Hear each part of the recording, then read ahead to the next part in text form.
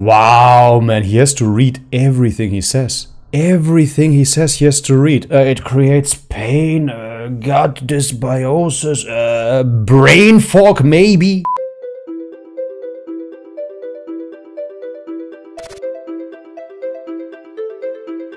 Alright guys, welcome back to the channel. If you're new, my name is Bobby. Guys, it has been a while since I reacted to vegans, especially hench herbivore. You told me in my live streams that you want to see more vegan reaction videos. If that is so, give me a quick thumbs up so I know that you want these videos and I will do more of them. Anyways, today we're gonna react to Henchi and he says there are top 5 mistakes that new vegans, apparently, allegedly make. Let's have a look.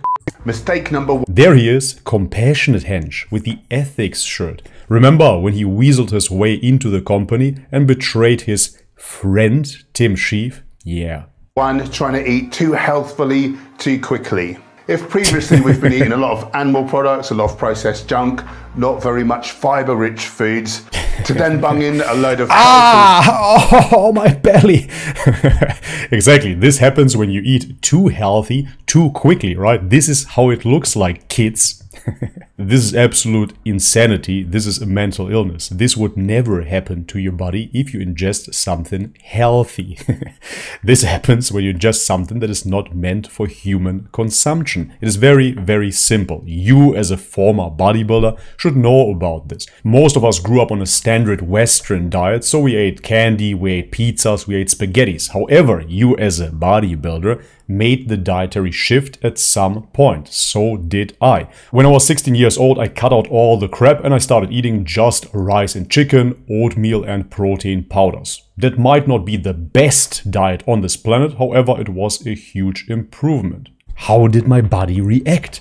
Obviously, it was a relief for my digestion. I felt overall better, more energetic, I had more strength in the gym, and I started to build muscle because of the increased protein. That was a healthier diet than the previous diet, and I saw results right away. Every time you eat something that is healthy for your body, your body reacts in a certain thankful way because there's only a species specific diet. Do you think that if you would feed junk food to a cat all her life, and then at some point you start introducing raw meat, which is obviously her species specific diet, she will react like this, uh, cramping and dying? Obviously not.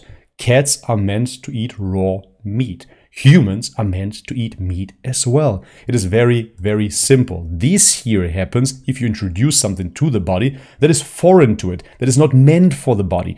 Tons and tons of fiber create dysbiosis in the gut. This is what happens if you eat plant-based junk. Foods, we can create a lot of distress in the body. The types of food... No, you cannot create...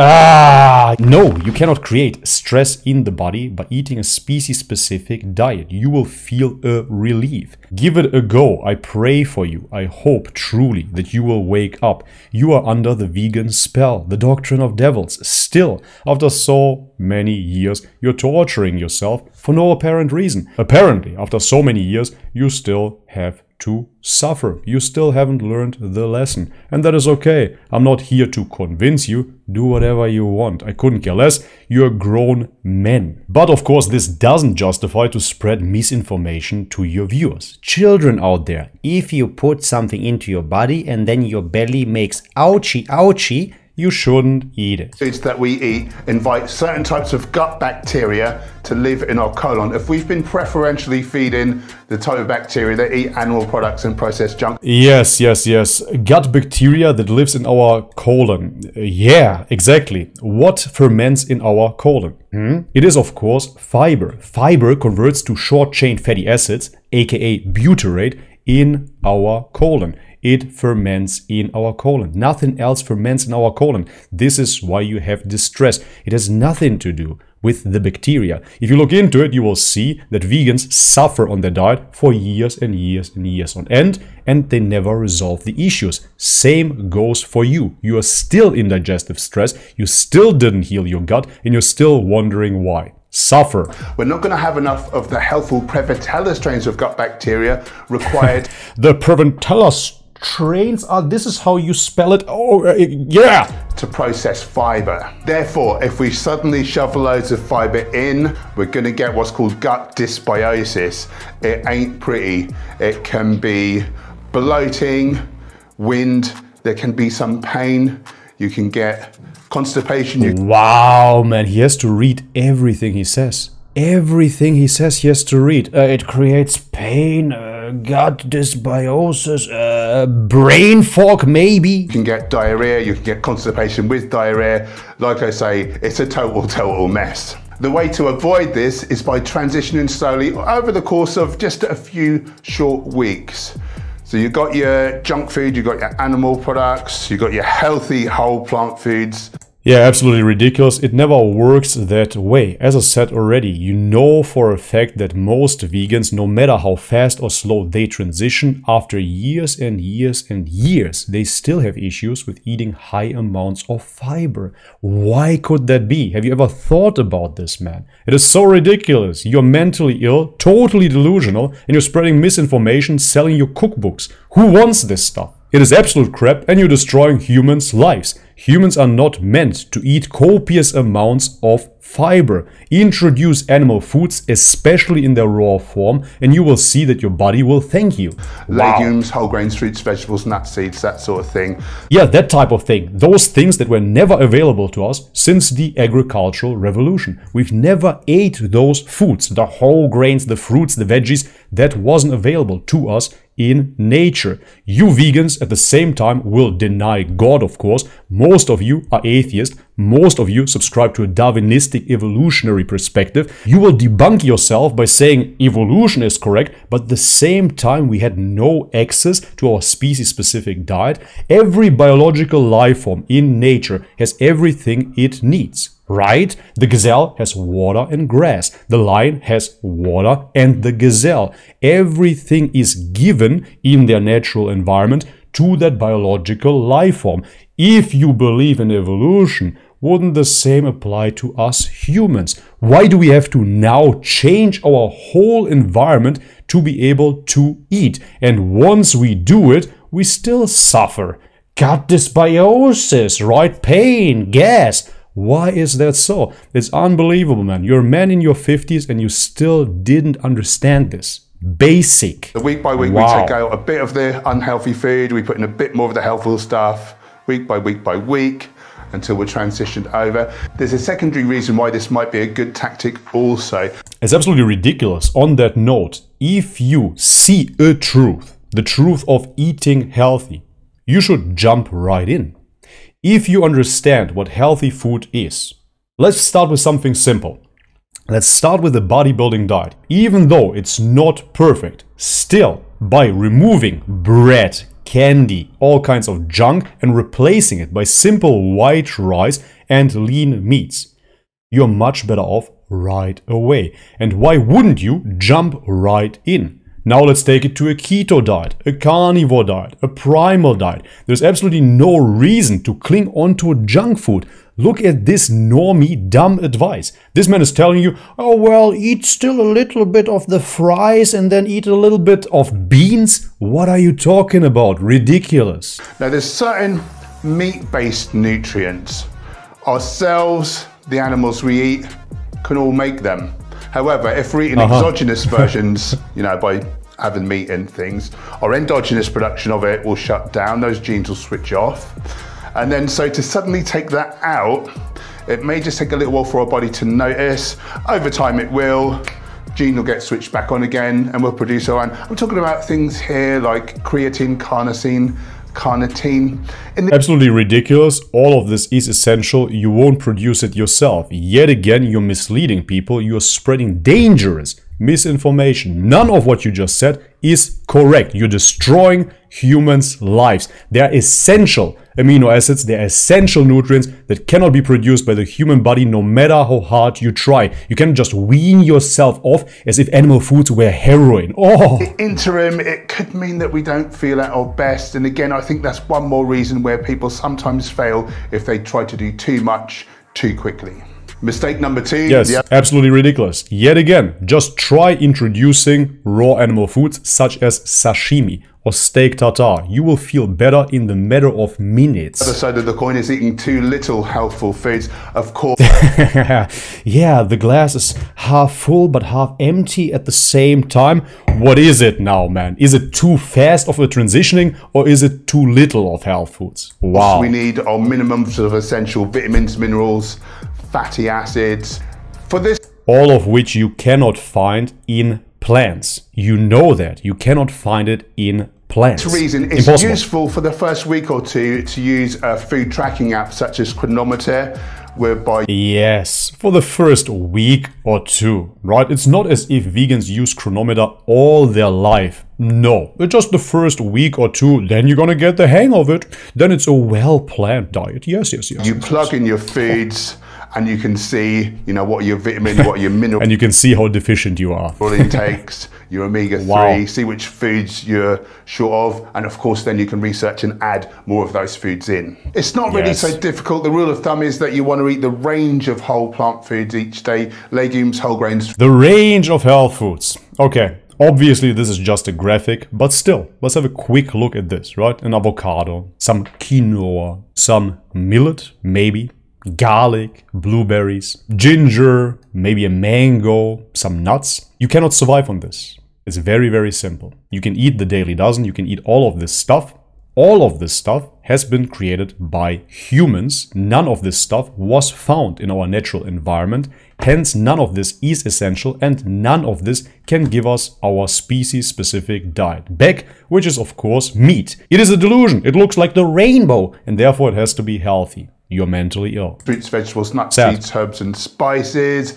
Omega Seeds, herbs, and spices. Seeds, herbs, and spices, yet again, won't nourish you. What kind of macro or micro profile do you have in spices? It doesn't make any sense. The seeds are, of course, latent for being full of anti-nutrients. Still, 2021, let's go! Omega 3 is a nutrient of concern, so make sure that you eat enough ground flax, ground is a nutrient of concern. So make sure to eat flax, la di da di da. There is absolutely no proof that humans can convert it efficiently. There is no omega 3 in those plant foods, but ALA. ALA needs to be converted, and in most cases, it does not get converted sufficiently. The same applies to vitamin A. Beta carotene converts to vitamin A. No, it does not. It is a scam, it is a lie. No omega 3, no vitamin A in plant foods. Stop lying. chia, Shame on you. walnuts, hemp hearts, that sort of thing. We need to supplement vitamin B12 in the winter months, vitamin D3. One other nutrient of concern Sounds awesome, right? Sounds like a healthy diet. We need to supplement this. Uh, we need to be concerned about this super healthy diet. Yes. is iodine. If you're in a country where they iodize the salt, yeah, maybe you're getting your iodine, but you're also getting a load of sodium, which isn't healthy. So ideally, I would say to eat seaweed. That's the best source. A couple of sheets of nori, a teaspoon of dulse or arame, one and an eighth of a teaspoon of wakame, or one sixteenth of a teaspoon of kelp powder gives you your 150 micrograms RDA. If you really can't stomach the thought Yeah, of eating sure. seaweed, then a supplement's recommended. Yes, then another supplement is recommended. I said it back in the day when I still was a vegan. I knew it intuitively because I actually listened to my body, especially towards the end. I realized B12 is not enough. Vitamin D3 is not enough. EPA and DHA is not enough. Iodine is not enough. I started supplementing with a wide range of things because the deficiencies started kicking in. Of course, supplements will never replace real food. It even says it on the packaging. It shouldn't be a replacement for a healthy diet. But this man will tell you that it is healthier if you ingest those chemicals. Absolutely ridiculous. For supplements, I recommend Vivo Life. I'm a brand course you do. ambassador with these guys. They're the highest quality. They're Sure. third party tested for over 500 different contaminants. So I really put my trust with those guys. Yeah, put your trust in them, in those. Don't put your trust in God. Don't put your trust in natural foods. Put your trust in Vivo Life because they're third party tested and they don't have pollutants. It's not about the pollutants, it is about the absorption. You're not absorbing supplements the same way that you absorb real food. Simple. Link down below, 10% off your first order with code HENCH10. You'll be supporting the channel, so thanks in advance if you decided to go with them.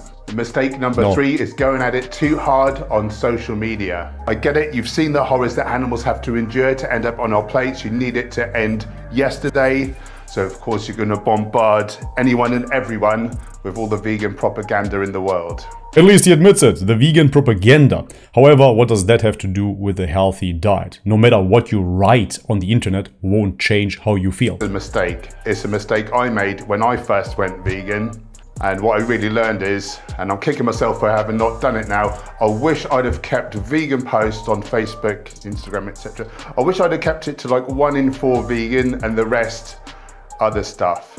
If everything's vegan related and people are not vegan, a lot of people are going to switch off, they're going to unfollow you, particularly if it's harrowing posts that they don't want to see, they don't be, want to be reminded of what they're funding for animals to end up on our plate.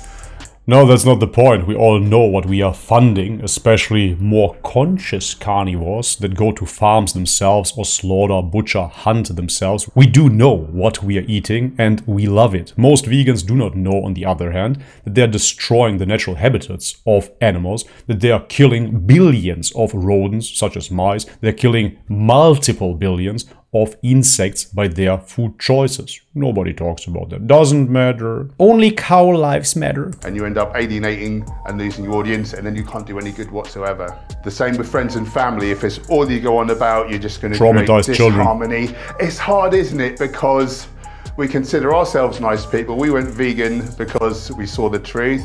Of course, our friends and family nice people, so we just have to tell them. But no, it often We consider ourselves nice people because we saw the truth. Philosopher King Hench. How do you know what is true? How do you know what truth is? How do you know right from wrong? In a world where we don't have any universal morals any longer, everything is subjective, remember? This is the vegan ideology. There is no God. We came from monkeys. Now we're here. Now we have a society. Now we're gonna do what feels good for us, but at the same time, it has to feel good for animals, and therefore it is right because I say it is right. Other people say it is wrong, but those people are wrong based on absolutely nothing. doesn't work that way. It really works that way. And usually, friends and family, the people we're closest to, need to hear it from someone else. It's heartbreaking, but it's the truth. All we can really do is lead by example. It is a religion. You know, plant some seeds, share some documentaries, you know, but Yeah, traumatize some people with some slaughterhouse porn. just don't beat people over the head with it constantly. I don't think, unless you want to lose all your friends. Mistake number four is going vegan and thinking that automatically your health is going to be amazing. That is not necessarily the case, particularly now It's not gonna be the case either way. that there's so many junk food vegan items available. As stated earlier, for the best health, you want to eat the majority of your calories as legumes, whole grains, fruits, vegetables, nuts, seeds, herbs, and spices. Hench, do you really believe this, man? Look at your face. Do you really believe what you're saying, man? You believe that a human being will be the healthiest if he eats a bunch of beans and whole grains. Come on, man. Wake up. It is not meant for human consumption. It is peasant food. If you absolutely have nothing else left, you can eat that stuff to get around until you can hunt again. This is by no means healthy, and you know this, at least I hope so. It is absolutely ridiculous. The human body, digestive wise, anatomically, is made to eat animals. If we eat much in the way of donuts, crisps, mock meats, if we drink fizzy drinks, we can have just as bad, if not worse, health than an omnivorous eater. Some of the worst offenders are things like refined sugar, refined oil, refined white flour.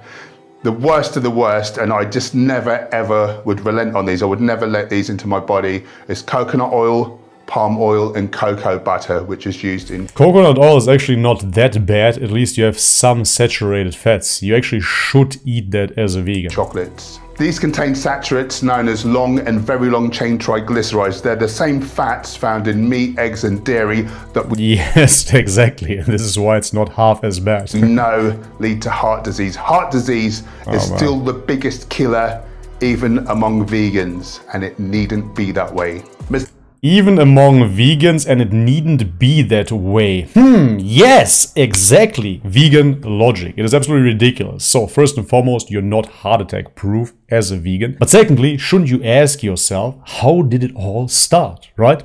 When did heart disease get so rampant in the Western world?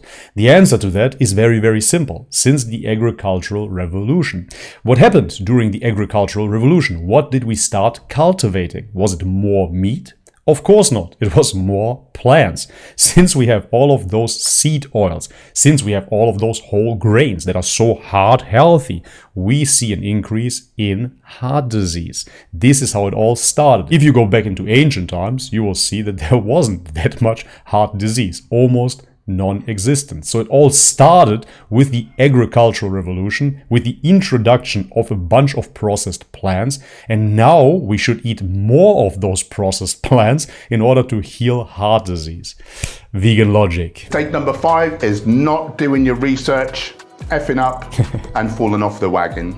I'll admit to this, veganism currently is extremely trendy. A lot of very no, it's actually not extremely trendy. The trend is declining since 2017. Very cool, famous people are doing it, so people are copying. Very cool, famous people, cool celebrities. I want to be like them. or perhaps people have a health issue, so they're kind of eating whole foods, plant-based. They're, you know, they're being vegan because they're not now uh, harming animals, but say they clear up their health condition. They've not seen the ethical argument. They've not seen what animals go through. Like they, you know, easily just go back to eating them. Other issues: eating on the what? go. You want to look ahead, see where can you eat. Perhaps you want to bring some of your own food with you. It's good to know about the Happy Cow app. You can have that on your phone, and yeah, super cool. When I was a vegan, I had that Happy Cow app as well. And yes, it's true, you will find vegan restaurants. Nowadays, it is not hard to stick to a vegan diet. Vegans, wake up. You know yourself. You have vegan restaurants, you have vegan products everywhere you go nowadays. In the Western world, you will have food, quote unquote. Still, people fall off the bandwagon. Why? Because their health declines. It is not because they are vicious, evil people. Of course, you see them like that because you are in a cult. Wake up. Those people saw how their body declined. You still don't see it. Somehow, miraculously, you're still in that vegan bubble, torturing yourself. You deserve to suffer. It is okay. It'll tell you local eateries which are either completely vegan or have vegan options there. If you're a drinker, not something that I recommend. A lot of people don't know that alcohol contains a lot of animal products. Fish bladders in wine, for instance, in the fining process is really quite uh, sick. But there's an app called Barnivore, like carnivore, but for people who go to bars, and that'll let you know what are the vegan options. You may get a nonsense editorial or just a friend talking smack about how vegan nutrition is lacking certain nutrients. If you didn't know better, you could easily be dissuaded. Place yes, you could easily be dissuaded. You just said it yourself. You said that there are certain nutrients of concern. You said yourself that you need to supplement. What are you talking about? Of course your diet is deficient. Wow. It's like nutritionfacts.org online or nutritionfacts.org, right? Nutritionfacts.org is just as factual as Black Lives Matters cares about black lives or the World Health Organization cares about your health. Just because you use a certain phrasing doesn't mean that it's true. Book online or books such as Becoming Vegan by Davis and Melina just becoming vegan, right? The newborn vegans. Wouldn't you have to say returning to vegan if veganism was our original state? All the facts are just there. something to think there about. There is no reason nutritionally not to be vegan, but it's good to have the facts at your fingertips. Wow. It's been my observation that oftentimes when people leave veganism, they didn't really get it in the first place. They didn't get the ethical argument. Perhaps they didn't watch um, Earthlings, Dominion, Land of Hope and Glory, and see with their own eyes what animals go through. Alright, Enchi, let's take my example. I watched all of those documentaries that you just mentioned. Literally, all of them, multiple times. In the end, when I was suffering, my gut was destroyed, my digestion was a mess, I was depressed, tooth pain, I was falling apart. This is when I rewatch those documentaries, right? In the hope they will wake me up again. They will shake my heart into the right place and I will stay vegan for the animals. However, in the end, you see those movies and you realize it is propaganda. Because what I started doing, essentially, is going into the real world. I went to real life farmers. I talked to hunters. I saw what it was really about. I saw that in plant production we're killing much more animals. If you want to be ethical, you would be carnivore to begin with. You would eat grass fed cows. Uh, a grass fed cow can feed you pretty much a whole year. You could live off one death. However, as I said, cow lives matters. You don't care about the billions and billions of rodents that you destroy, the animals that you displace, the environment that you destroy, and you're creating monocultures left and right. It is absolutely hypocritical. Vegans kill more animals. Because I honestly believe anyone in their right mind seeing that would never ever Oh. go back Oh. to funding that ever again. Oh. So yeah, it, Again, your argument doesn't hold up. I saw it many, many times, multiple times, and I saw it in real life as well, right? My uncles are all hunters and butchers. I'm seeing it on a daily basis. The blood, ah, the suffering. And I love it.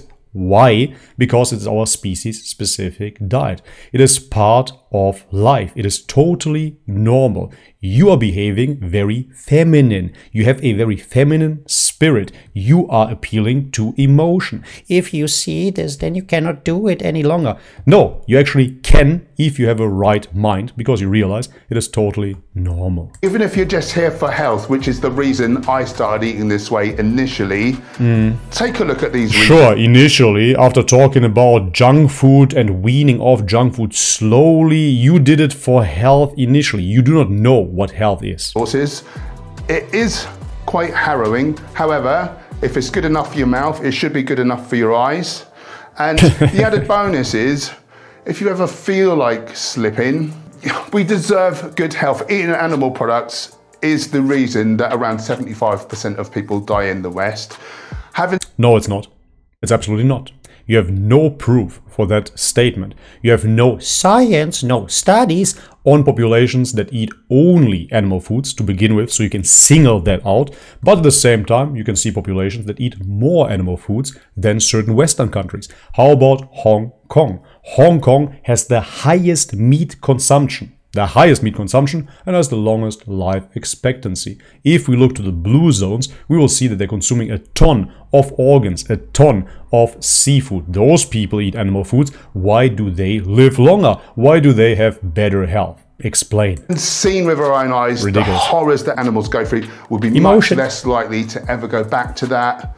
And then bonus I can eat a steak whilst watching Earthlings. This is, you know, we get to keep our health and we live happier and longer and, you know, more functionally. Thanks for staying More functionally. Sure, you seem much happier and more functional. to the end. I've got a bonus tip just for you. Well, a bonus mistake. And that mistake is trying to go it alone. I feel really sorry for people who don't have any vegans around them and they see the horrors. They want to go vegan, but their friends, their family are not on board. We can get a lot of ridicule. We can even get attack. And of course, we are social creatures. We need to feel that our standing in our society is not going to be hurt because historically, when we were in our caveman days, if we are ostracized from the tribe, we're dead. so So, we're gonna appeal again to evolution, right? In our caveman days, we did this and this, we did it that certain way, but now, somehow, this still applies, but we have to do it totally different. Yeah, makes perfect sense. Absolutely irrational. that is still within our psyche. It does feel like life or death. Happily, in most places, veganism is uh. booming. There could be a local meetup group. If you find it hard to find them, you can go to meetup.com. It's an easy way to find them, or look search for Facebook groups as well. If there's not a meetup group in your area, start one. Be the change you want to see in the world. If you've had that idea, other people will have it as well, but someone's got to start it. Here in Norwich, we're the most vegan city in the UK, uh, and it all really started. Someone just put a sign outside a health food store saying meetup group at the church around the corner. They hired a room out. The first week, five people turned up. You know, in the end, there's like 80 odd people turned up. It's recently, Wow.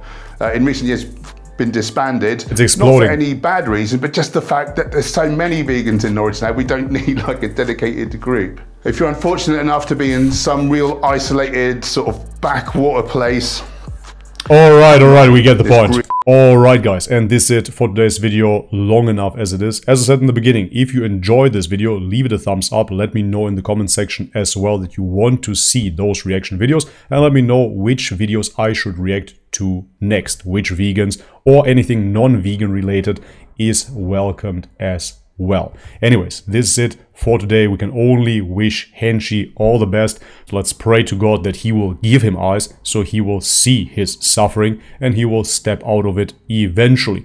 If not, let him suffer. This is what they deserve. Alright guys, but this is it for today. As I said, if you enjoyed this video, leave it a thumbs up. If you haven't subscribed already, please do so. And as always guys, may God bless you all. Much love and peace.